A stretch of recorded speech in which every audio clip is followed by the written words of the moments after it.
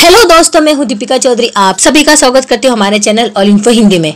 उत्तर Korea के सर्वोच्च नेता किंग जोंग उनकी तस्वीरें दुनिया भर के मीडिया में अक्सर छाई रहती है, लेकिन उनकी निजी ज़िंदगी अब तक दुनिया के लिए एक रहस्य की तरह है।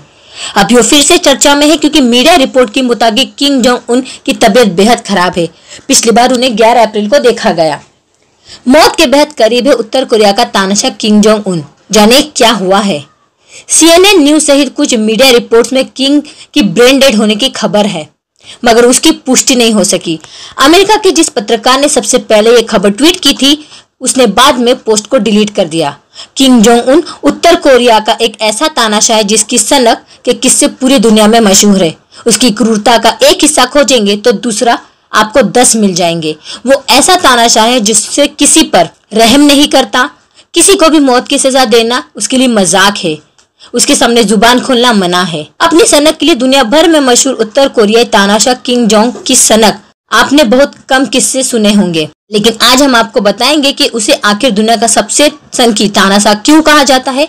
आखिर क्यों उसका खौफ उत्तर कोरिया के हर नागरिक के दिल में रहता है? इतना क्रूर होने के बाद भी वो टॉप इंटरनेशनल लीडर कैसे बना?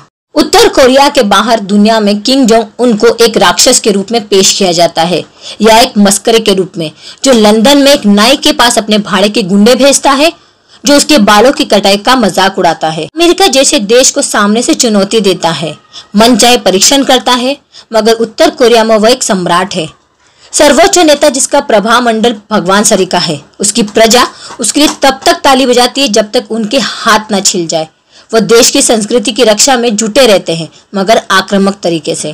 किंग जोंग, उनकी खासियत भी ये है कि वो काम से पीछे नहीं हटता। 24 घंटे, हफ्तों के सातों दिन, देश की हर हालत पे नज़र रखता है। कोई भी रिपोर्ट हो, उसमें देरी हो, बर्दाश्त नहीं। गलती पर सजा देना उसकी खासियत है। नागरिकों की स्वास्थ्य सेवा पर भी उसने खूब काम किया। किम जोंग उनको किसी भी देश का खौफ नहीं है।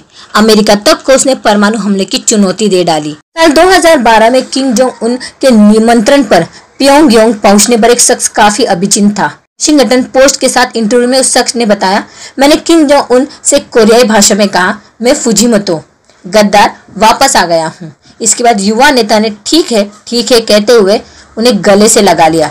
हालाँकि केंजी फुजुमोतो को कई कहानियों पर सवालिया निशान लगाया जाता है, लेकिन एक बात पर विशेषज्ञ सहमत होते हैं। दोस्तों, अगर वीडियो आपको अच्छा लगा तो लाइक करें, वीडियो में दी गई जानकारी की आपकी कोई भी राय तो हमें ज़रूर कमेंट करें। साथ ही हमारे चैनल और इन्फो हिंदी को सब्सक्राइब करें और बेल आइकन को प्रेस करें ताकि नए वीडियो की जानकारी आप तक पहुँचती रहे।